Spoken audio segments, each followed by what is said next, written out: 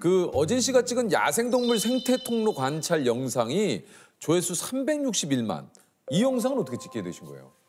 제가 아무래도 새로 보러 다니다 보면 운전을 많이 하거든요. 음. 근데 고속도로 다니다 보면 꼭 그게 보이는 게 있어요. 뭐 어. 야생동물이 지나가고 있어요. 생태 통로. 네 맞아요. 네. 혹시 보신 적 없으세요? 있어 있어요. 그죠 그죠 그죠.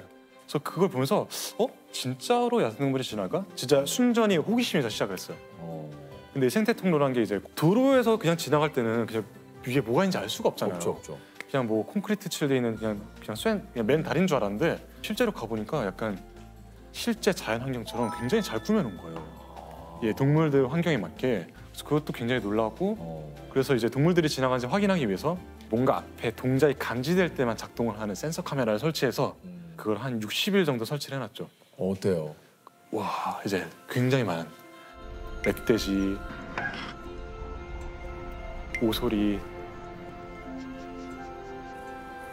노루 그리고 뭐 메토끼 굉장히 다양한 포유류들이 지나가요.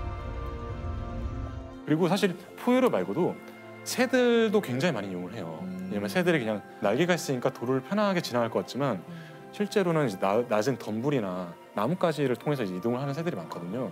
알게 모르게 굉장히 다양한 생물들이 야. 생태 통로를 통해서 이동을 하고 있다는 거예요. 네.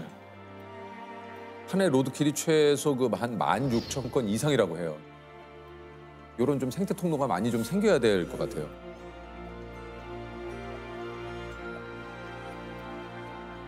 그러니까 요즘 환경 문제도 좀 심각하기 때문에 이게 17년간 새를 좀 보러 다니셨으면 자연 환경이 좀 예전에 비해서 좀 나빠지는 것도 좀 눈으로 확인이 되시겠어요. 이게 새를 보러 다니다 보면은 새를 만나서 즐거운 것도 있지만 울적해질 때가 정말 많아요. 왜냐하면 이 환경이 정말 빠르게 빠르게 빠르게 변하고 있거든요.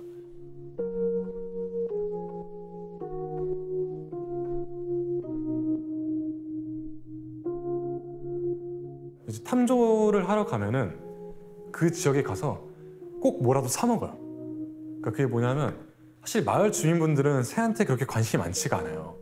근데 저처럼 이렇게 새 보는 사람들이 가서 새도 보고 그 지역에서 숙박도 하고 밥도 먹고 그러면은 아, 이 새가 있으면은 관광객들이 오는구나. 그래가지고 새를 더 아껴주시고 더 잘 좀 더 보호하려고 하시기 때문에 항상 어디 탐조지에 가면은 마을 주민분들이랑 얘기도 하고 새들에게서 좀 긍정적인 이미지를 심어줄 수 있도록 그런 활동을 해요. 네. 사실 이런 야생동물들이 주목을 잘 못 받잖아요. 아무래도 가까이서 만나본 적이 없는 존재들이다 보니까 관심을 못 받은 채로 사라져 버리는 경우가 너무 많은 것 같아요. 그래서 제가 어떻게든 이런 새가 있었다라는 거를 좀 남겨야겠다 그런 사명감을 가지고 영상을 많이 만들고 있죠.